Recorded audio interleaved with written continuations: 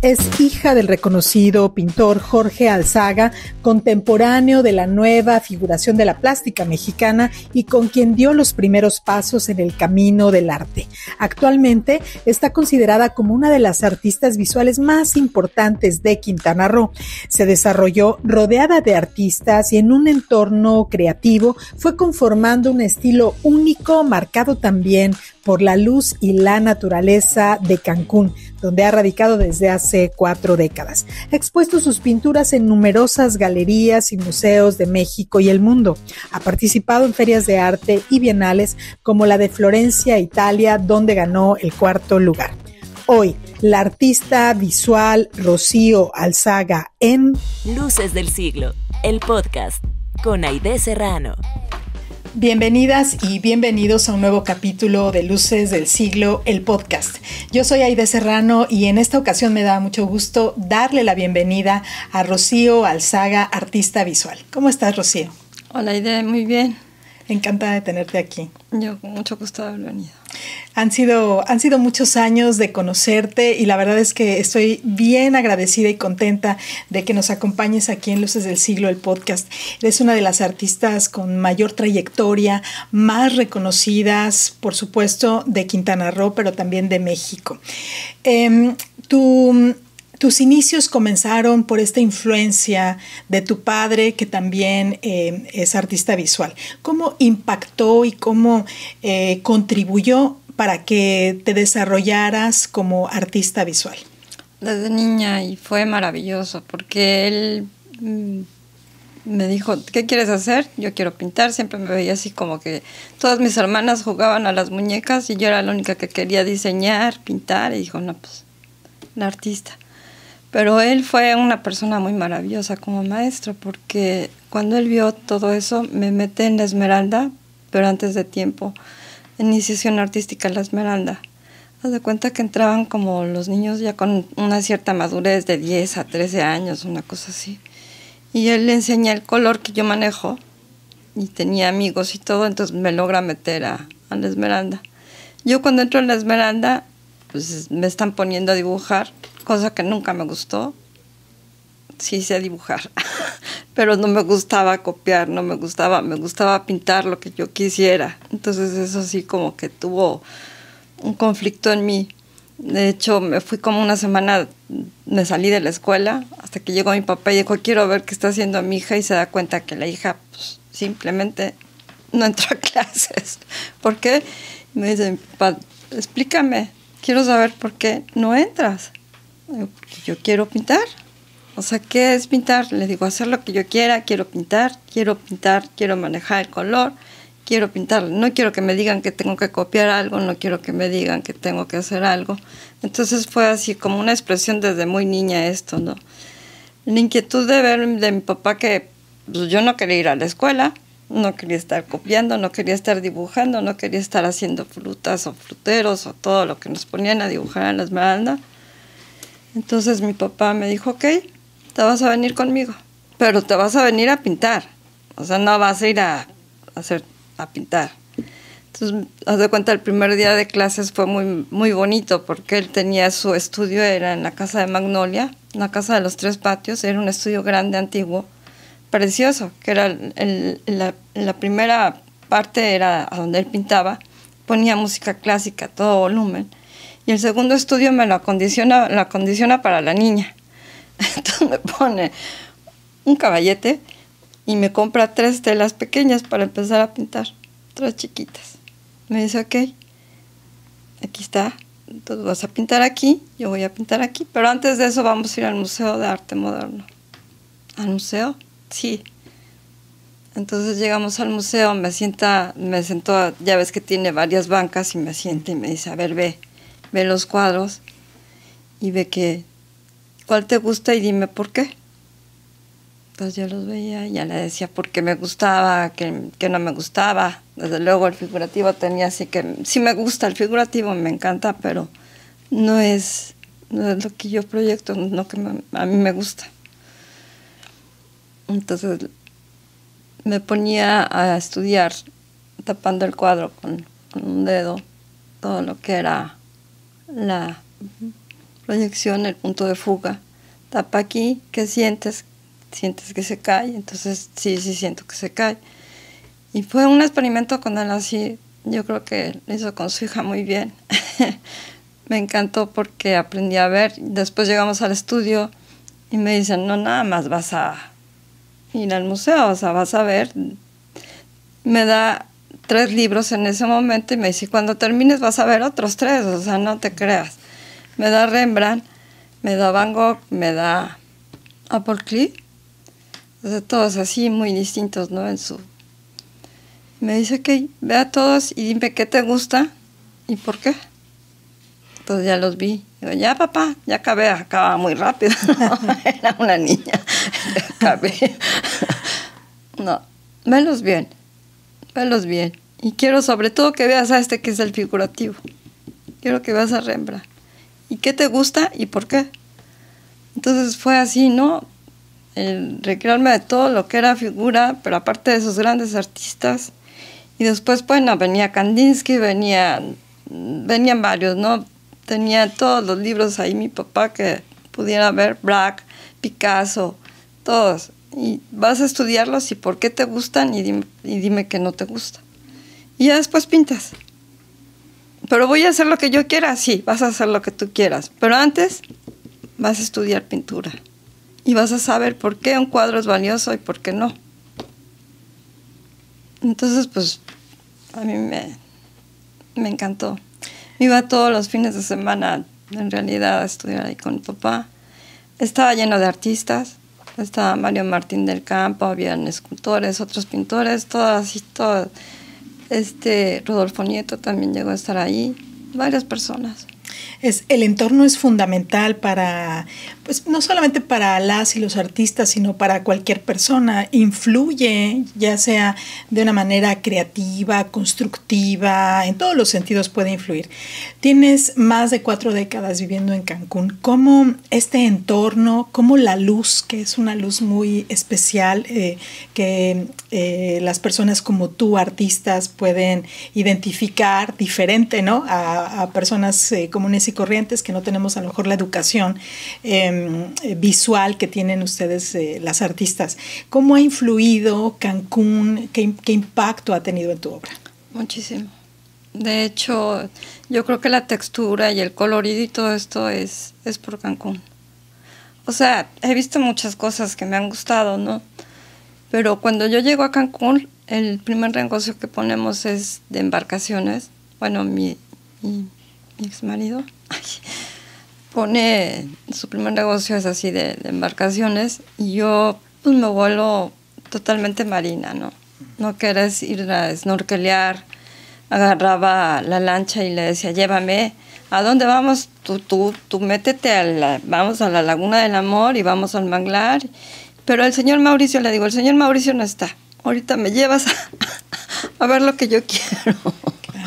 Entonces íbamos y hacía yo mis paseos, me metía a nadar, me metía a bucear, hice mucha, muchas cosas acuáticas que sí influyeron muchísimo.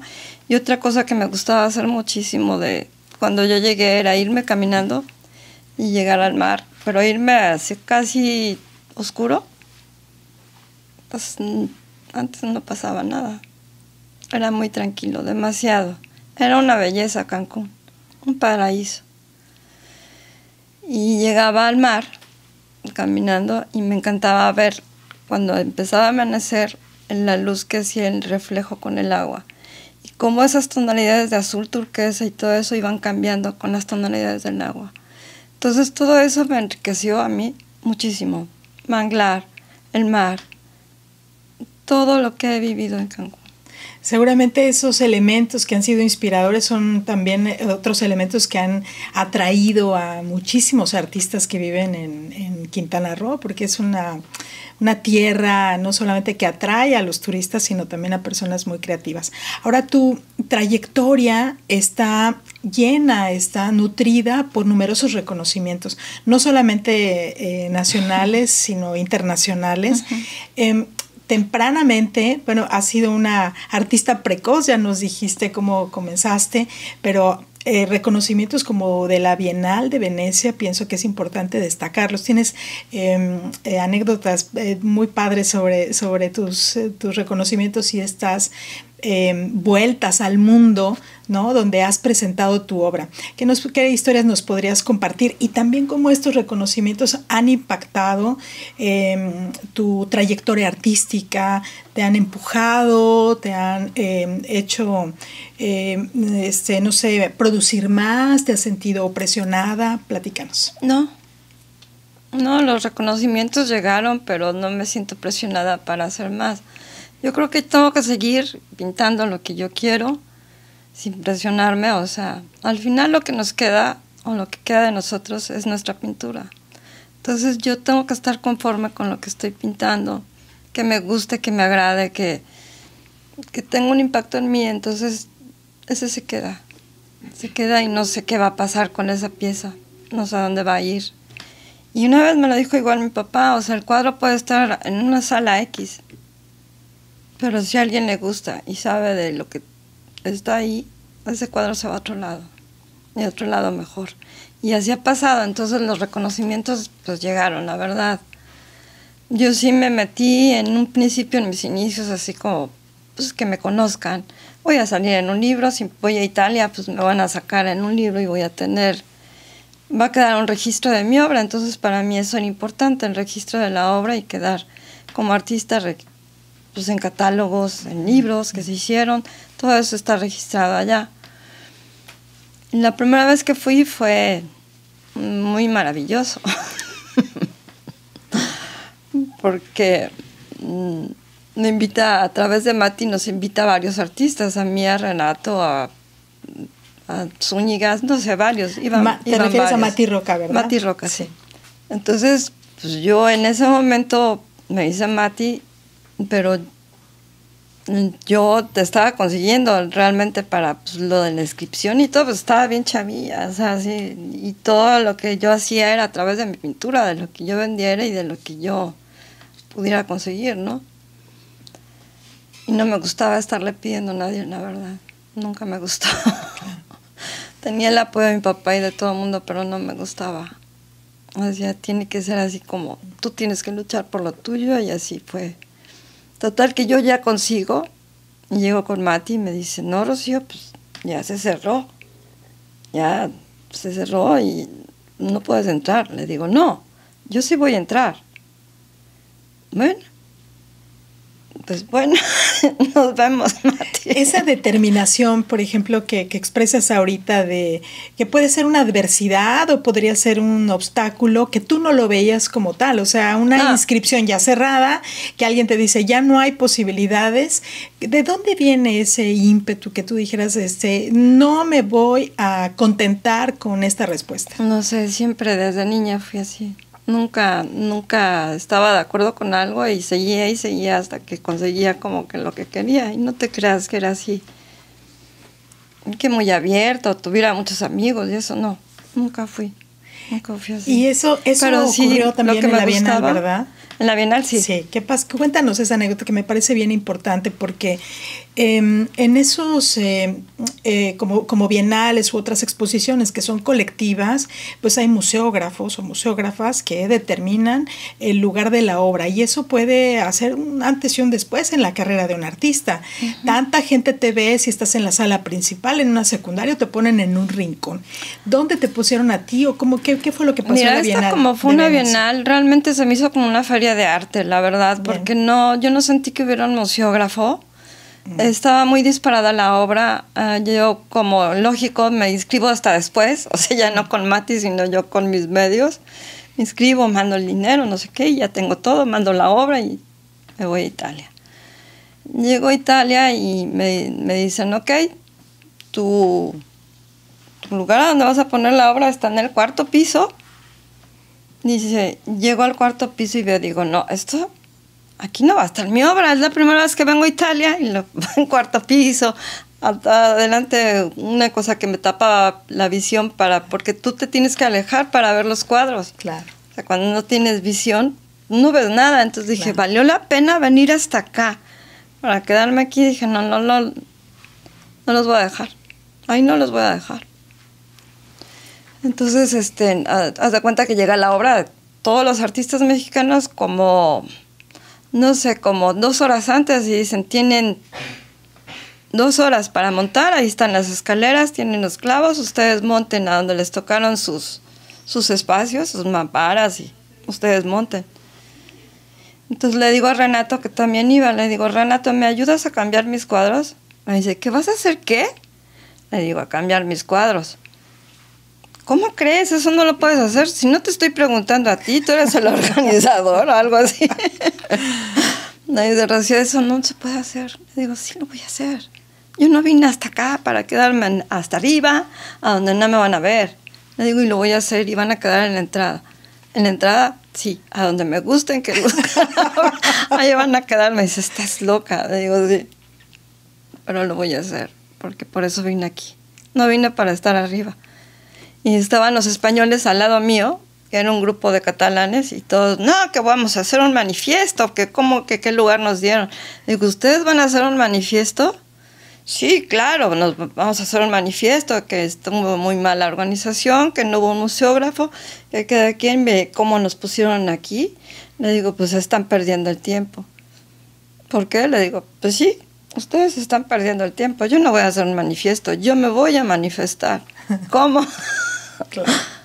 Cambiando mi obra. ¿Y a quién le preguntaste? Le digo, no le voy a preguntar a nadie. Mis cuadros vinieron para verse, no para estar como los de ustedes haciendo un manifiesto. Si mañana los cambian arriba, no me importa. Pero a la inauguración van a estar en la entrada. ¡Ah, qué chistosa eres! Le digo así, muy chistosa y mexicana. y los cambiaste. Y entonces agarré, no, que le dije, Renato, por favor, y ayúdame. Queda media hora para que cierren. Ayúdame a cambiar los cuadros, estos que están acá arriba, mis cuadros abajo. ¿Sí lo vas a hacer? Sí. Mañana si los quieren cambiar, que los cambien, pero en la inauguración van a estar ahí. Total que los cambié. Los puse, inauguraron, todos se sorprendieron. ¿Quién había hecho eso? Me una mexicana. ¿Pero a quién le preguntaste? Algún italiano que pasó y me dijo que no había problema. pero ¿cómo? Le digo, seguramente no me entendió ni yo lo entendí, pero mis cuadros están ahí. ¿Quieren cambiarlos? Cámbienlos. No, ¿cómo crees? Le digo, entonces, ¿cuál es el problema?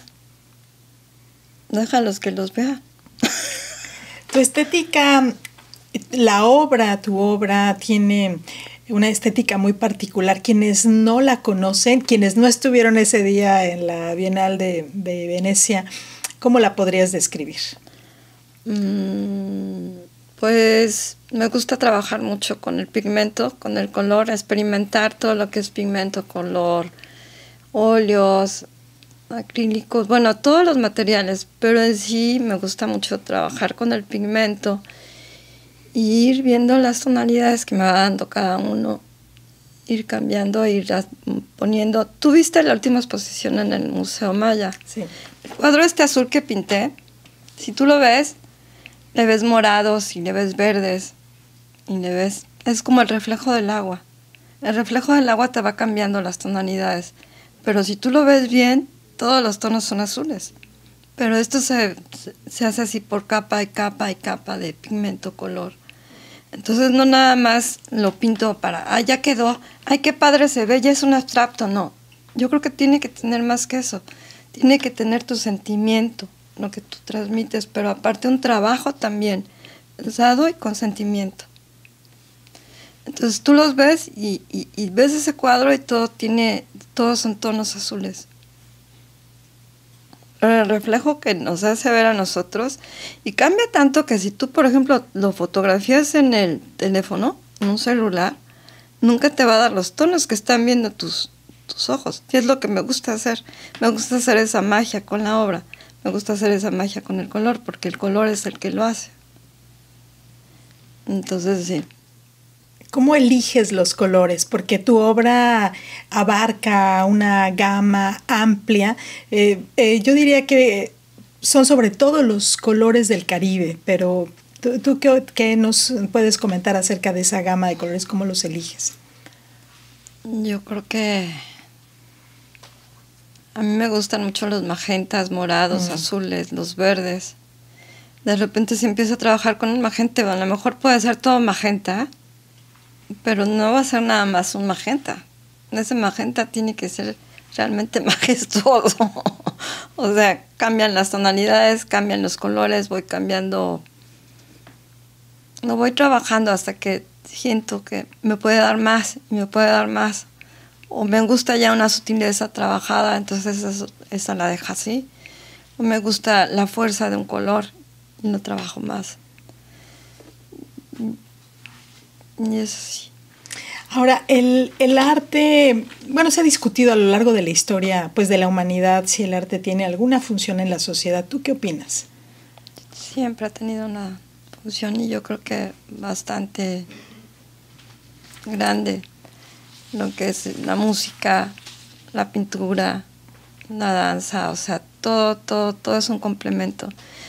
Pero la pintura, no sé, a mí me fascina, mis telas las hago grandes, grandes. Igual trabajo telas muy pequeñas, pero son muchas, muchas, muchas. Entonces, el encontrarte tú con la obra. Por ejemplo, esto de la exposición, como trabajé mucho así con el tiempo, tenía el tiempo así como que encima y a veces no estamos a gusto, ¿no? Dices, es que todavía le falta, o sea, no siento que le falta en esta parte, esta parte no me, no me gustó, esta parte ya quedó, ¿no? Pero siempre hay un conflicto del artista con lo que tú estás pintando y más si es abstracto.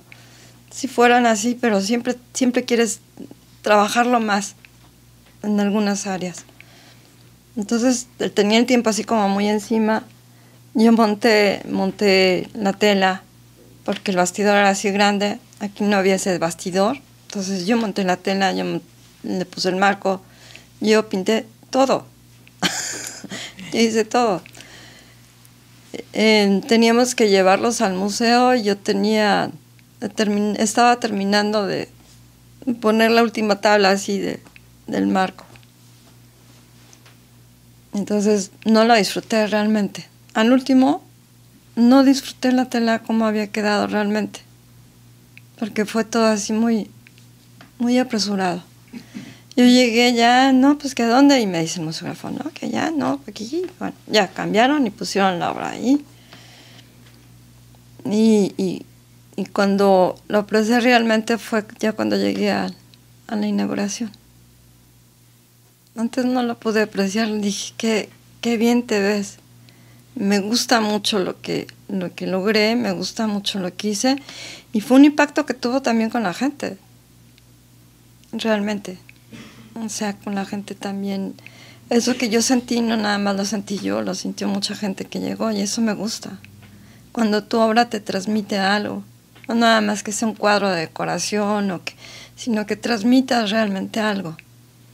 Es como oír la música y, y si ese cuadro le pones música aparte, se vuelve maravilloso, porque entonces te vas.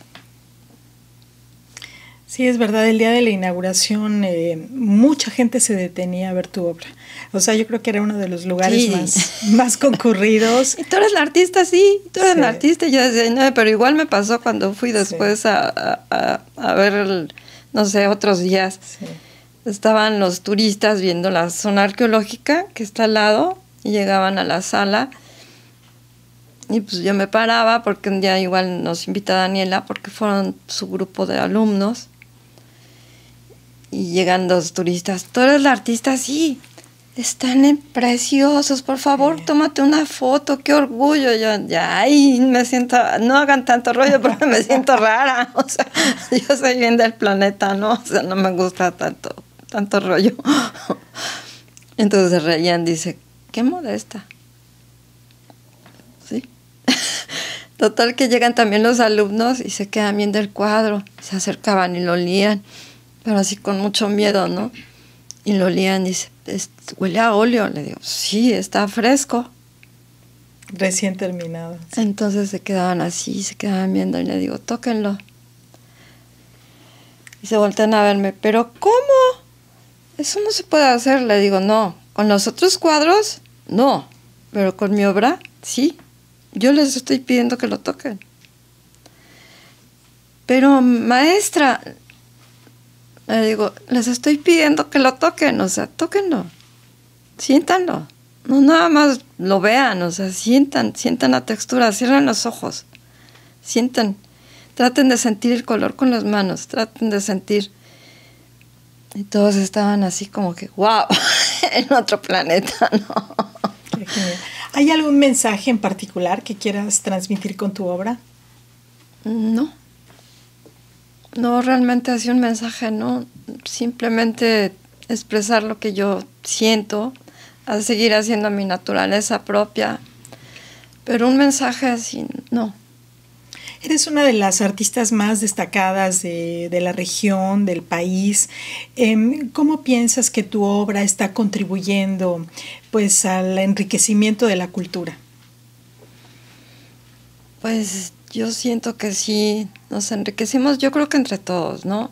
Todos los artistas, todos tienen una forma de crear muy linda y cuando nos juntamos, por ejemplo, como esta vez, a mí me encantó estar pues con Silvana, con Marta, con Daniela, con Alejandro, con todos y convivir esa esa cosa que yo dejé de hacerlo hace un poco de tiempo porque sí me fui a México a vivir estuve viviendo como alrededor de 10 años o más, como 12.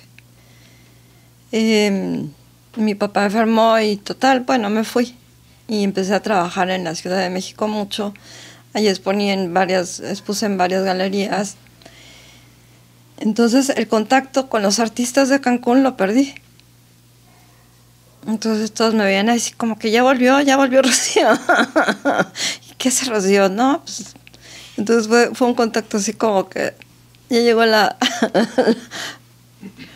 Pero total, el grupo se forma en esta exposición y a mí me gustó muchísimo. Me gustó mucho la, todo lo que llevaron de obra, me encantó. Y estamos viendo otras alternativas también para exponer en otros lugares y seguir haciendo un grupo fuerte en Quintana Roo, eso sí me gusta, con los artistas, con todos los artistas juntos. Pues parece que no te fuiste, porque eh, particularmente el día de la inauguración había mucho cariño, había mucha calidez y yo creo que tú tienes un lugar en la escena no solamente nacional, por supuesto local, eres reconocida como una de las artistas eh, pioneras de este lugar, o sea, llegaste prácticamente unos años después de que se hubiera fundado Cancún, entonces yo creo que tu nombre ya está pues eh, marcado en la historia como una de las artistas pioneras de, de este estado. Entonces, aunque te haya sido algunos años, yo creo que particularmente lo vi ese día de la inauguración, estás, estabas presente, no importando esos años de ausencia. Ahora, eh, ¿qué estás eh, planeando? Nos acabas de dar una, un adelanto ahorita acerca de otras exposiciones, ¿qué otros planes tienes? Bueno, ahorita es un plan. Si hay invitaciones en México, eh, hay una galería que le gustó mucho mi obra. bueno, de hecho se llevó un cuadro, el... ¿Cómo se llama? Bueno, el director... Eugenio López. Eugenio López se llevó un cuadro mío en una galería que se llama Eclipse en México. Entonces, él quiere que yo haga, el de la galería, no, que haga una tela grande, no sé si a petición de Eugenio López o no, pero es uno de los coleccionistas más grandes que tiene México, es el del Museo de Jumex. Entonces eh, el plan es eh, hacer ese cuadro que me pidió y no sé, él lo va a, promover, no sé. Ese es un proyecto. Otro con los artistas de Cancún, hacer más exposiciones en otros museos, no sé, pedir pero eso lo, empezamos como que a trabajar todos así en el momento, ¿no? Ahora que hay aquí, que en playa, que esto, que el otro, entonces estamos viendo las posibilidades de Zacatecas, a lo mejor Mérida, México.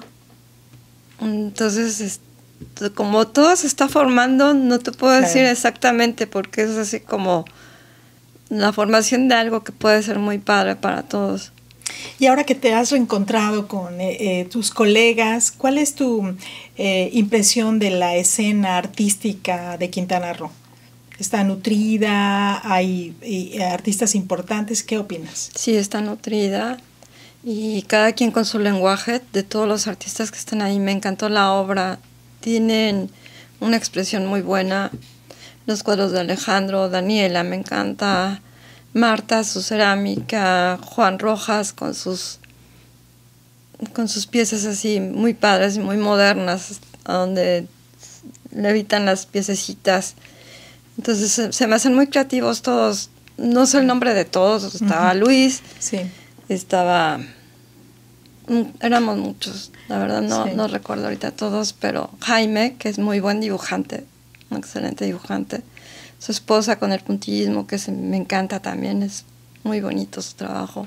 Pues sí, eh, en realidad eh, para, para muchas personas que no están tan cercanas a la escena artística podrían descubrir que hay artistas desde hace muchas décadas y que están produciendo obra, que están exportando obra también, que se están llevando a coleccionistas, a colecciones importantes, ¿no? Como esta que acabas de mencionar de Jumex.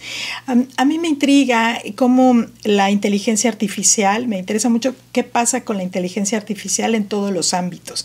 ¿Tú has pensado en incorporarla a tu creación artística? No. ¿Por qué? ¿Por qué no? Porque el sentido viene de mí, no de la inteligencia artificial. La inteligencia artificial te puede servir igual y lo traté de hacer y nunca me gustó. Lo sentí tan vacío.